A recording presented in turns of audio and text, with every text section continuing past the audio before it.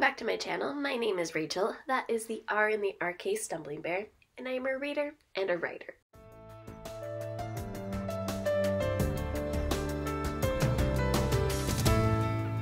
And I am back to do my booktube birthday tag. And jumping into the questions, First one's asked, How many years have I been on BookTube? And the answer is four. I am celebrating four years of being on BookTube. And continuing with question two, what has kept me motivated to continue making videos?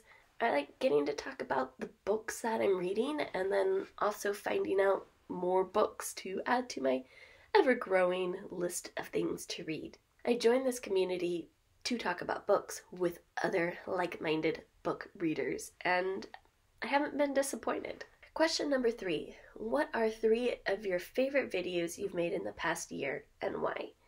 And looking back at my past videos, nothing actually stands out as a favorite. However, I have very much enjoyed getting to read more self published science fiction.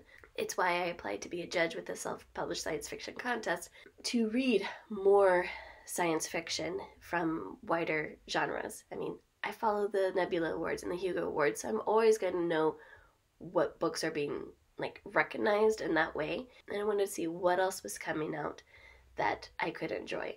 I've done a lot of single review videos for those books that I have read, specifically because you know what? They are self published, they deserve more love.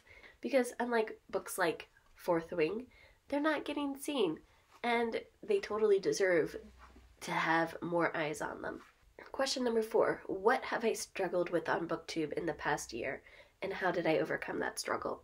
I start every year wanting to be more consistent with putting out videos, and I have a calendar of what videos I want to make, and life will just get in the way.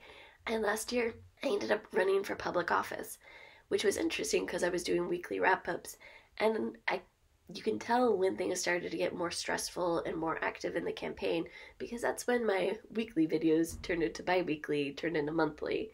I still wanted to make the videos because I was still having fun, life outside of this does take precedence. So I think it's always a struggle of trying to balance your life and your creative pursuits. And I don't have a good answer of how to solve that. I have embraced that I am just a casual booktuber and I'm doing this for fun. And I enjoy getting to talk about what I read. So again, I'm still here. Number six, shout out a huge supporter of your channel, and you can't have just one. So, like, I think the big people who I know watch me, because and I watch them, and then they talk to me in the comments. And I'm sure there's lots of other people who watch me as well and then just don't comment. And that's okay because you don't have to comment. I know I interact a lot with Shannon from SD Houston, um, Margaret Pernard, David Wiley, Emma Bennett from I think Emma Bennett Romance, or maybe that's her IG handle. But so different booktubers and author tubers in this case. Becca Reads is somebody who also will pop in and share comments. And I know last year we had a lot of fun talking about different TV shows that we were watching. Question number seven What's the best book you've read in this past year? And the best book I have read was Tress of the Emerald Sea by Brandon Sanderson. It was my favorite of 2023 and I only have the book jacket here because I've loaned it out to a coworker, and I wasn't going to give her the book jacket. Question number eight Where do I see my channel in a year's time, and what do I hope to have achieved? I just want to continue to have fun and talk with people about books, especially science fiction. And so I kind of see my channel staying the same because this is what I enjoy doing.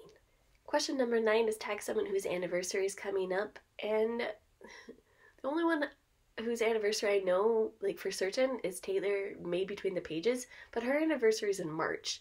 So I'm not sure who else has an anniversary in April. But if you do, you're tagged.